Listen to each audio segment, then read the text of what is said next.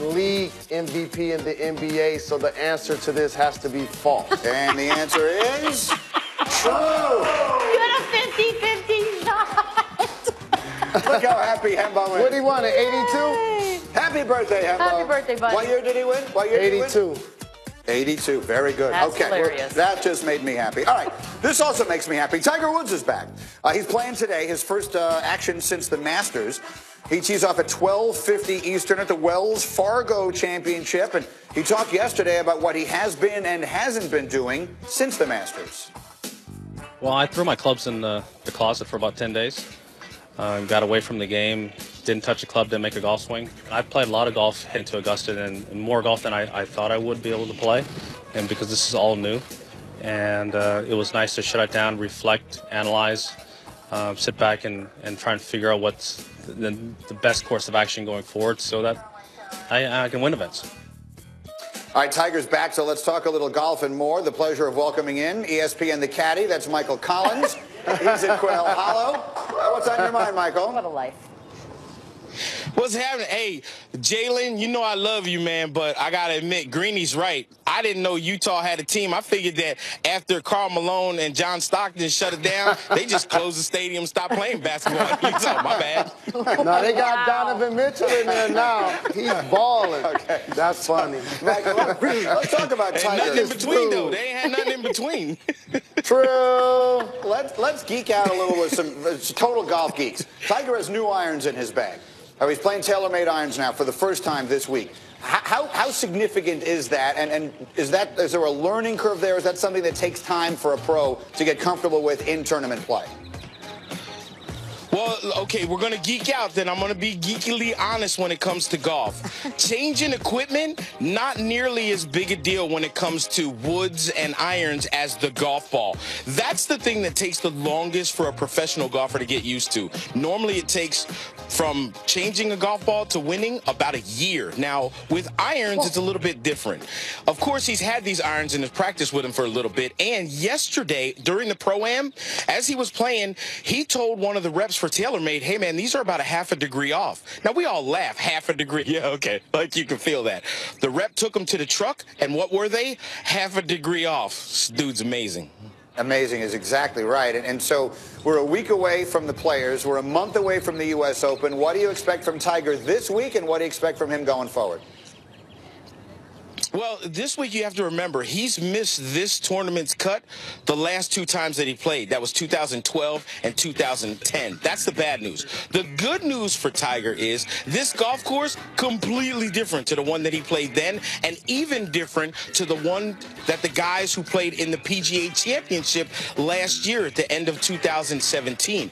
That might give Tiger a little bit of an advantage. I think making the cut this week at this golf course would be a really good thing for Tiger Woods and his new set of irons. All right, that's good insight. Michael, enjoy the golf, and we're going to get tickets for Game 3 in Salt Lake City. I think you'll really enjoy the arena. Thank you very much. They're going to treat you like Russell Westbrook. You better be nice. yeah, it's not good. As long as they got hot dogs, you can say what you want. Time for sneaky big news.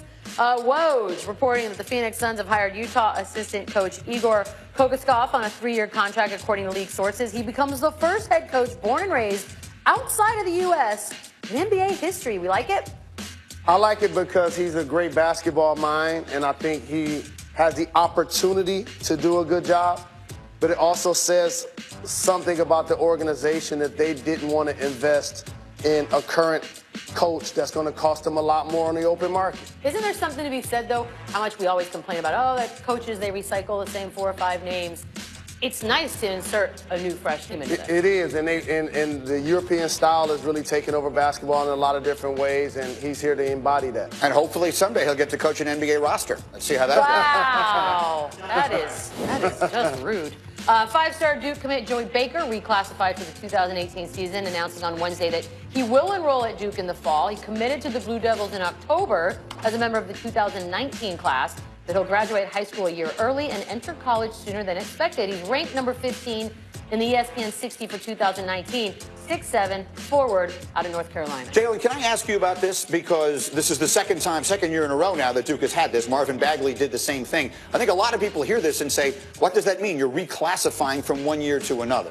So basically, he had the opportunity to either be a senior in high school or reclassify to become a freshman at Duke Why? What- to join this amazing My daughter class. doesn't have that opportunity. What did he do? Correct. So basically, what happens in sports, and I don't know if this necessarily applies to Joey, but what a lot of people have done that specialize in basketball, they do something that's called gray shirting to their son or daughter, usually son, when they're in middle school. And what that means is if you're a seventh grader, instead of allowing you to go on to eighth grade, they hold you in seventh grade. Now, why will you do that? So a year later, you're older than the kids that you're playing against. You're more confident, and that one or two years makes a difference in your confidence, your productivity. Because ultimately, when you become a prospect for the NBA, it doesn't make much of a difference if you're 20 or 22. But if you're playing against guys that you're a couple of years older than, hmm. it helps your not only your productivity, but it helps your stock. That's pretty It's interesting. interesting. Yeah, I like that. Um, after years, years of fighting against the legalization of sports gambling, leagues are now open to the idea if it comes with a 2.5% integrity fee. The decline in MLB and NFL ratings are well documented, but the NBA doesn't seem to have that problem. Here's Adam Silver earlier on our show this year. We think we should be compensated in certain ways for the additional costs we're going to incur through through various integrity measures. But on top of that, our league, just the NBA alone, will spend seven and a half billion dollars this year creating this content. So our feeling is the intellectual property creators, we should be compensated as well. And so, but there are also issues on downside. I mean, I'm not. I'm trying to be more realist here rather than say I think it's great for people to bet on sports. I know it'll lead to, to additional engagement, but there's problem gamblers too, and those are all things we need to address. Th- There's there's one thing about this that bothers me. I have been in favor of the legalization of sports gambling for as long as I've been able to understand what it meant.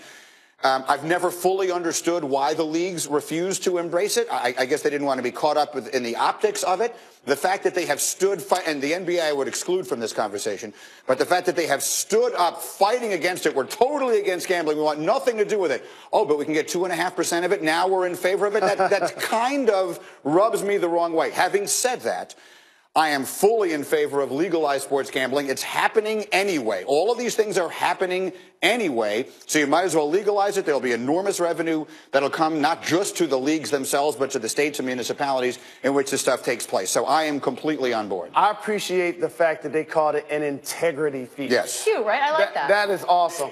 And Green, They have to be paid to have integrity. no doubt. And I have some sneaky big news for you. They actually did embrace gambling. It's called fantasy sports. But they won't let you call it gambling. See, that's the difference. If you called it gambling, and I learned this firsthand, if you called it gambling, they had a problem with it. If you call it fantasy sports, if you call it what it is, daily fantasy and all those things, which I love and I play, and I fully recognize that I'm gambling when I'm doing it, they will call you and tell you to stop calling it that. So that's the difference. They're telling you this isn't gambling, but we're making money on it. This is gambling, so we're not going to be a part of it. But if we can get two and a half percent of it, now we're all in. Again, that just kind of rubs you the wrong way, and it shows you that money is ultimately, well, they'll, they'll buy anything. That said, Yeah. it's a good thing, in my opinion, not a bad thing. So I'm not going to stand here and complain about it. Anyone, I, do you I don't. I, I don't have. This is this falls under the umbrella of things adults do. So I don't really think anyone should be telling us whether we can or cannot gamble. I'm 100% for legalizing it.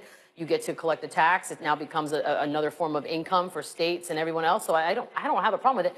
2.5% of all bets placed. That's going to be a ridiculous That's a number. should this ever gigantic figure. A gigantic figure. It makes everything. It dwarfs things. And, and there will be a couple of people out there that think, how does this impact the athletes? Not at all. it doesn't. They're doing it anyway. No, it, it impacts the athletes in one way. All that money comes in. Ultimately, that goes into the salary cap. That becomes a percentage of the of the money of the Correct. revenue that the sport is making. So the players will ultimately get some of that. All right. Don't forget tonight, 8:30 Eastern time, after Cavs and Raptors game two on E ESPN. So Jalen and Beadle will be here with a critical game, and No, then Scott Van Pelt will be 8:30 along. And you'll be out, and Scott Van Pelt and Rachel Nichols will be on with SportsCenter and a complete breakdown of that game. You'll hear from LeBron James. You'll also get a, a recap of Tigers' first round at Quail Hollow at SportsCenter with SVP, 8:30 Eastern on ESPN and the ESPN app. All right, still coming on Get Up. Carson Wentz working back from injury. Why he's not just spending time in the weight room. That'll be next with Sal Paolantonio. Plus, is one of the most prolific players in the game about to hang up the cleats? for an even higher profile job? That answer is next. Liberty Mutual stood with me when this guy got a flat tire in the middle of the night, so he got home safe. Yeah, my dad says their insurance doesn't have that. What? You can leave worry behind when Liberty stands with you. Liberty Mutual Insurance. Do you have a drawer full of knives but nothing sharp? Stop crushing your food instead of cutting it. What a mess. And don't use fixed edge sharpeners that grind